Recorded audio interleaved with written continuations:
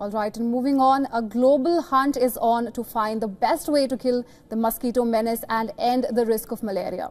Well, one of the ways being explored to stop the spread of diseases is to make the animal and human blood that it sucks toxic to the insect.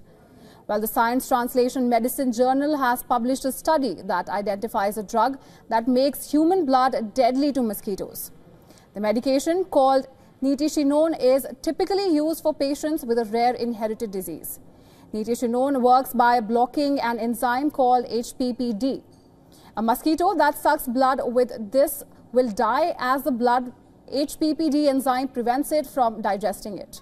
An antiparasitic medication called Ivermectin is already in use to shorten the lifespan of mosquitoes. But researchers say that this medication is environmentally toxic and its overuse results in developing resistance to the drug. But the latest research also shows that nitisinone lasts longer than ivermectin in the human bloodstream. It is able to kill not only mosquitoes of all ages, including the older ones that are most likely to transmit malaria, but also the hardy mosquitoes that are resistant to the traditional insecticides.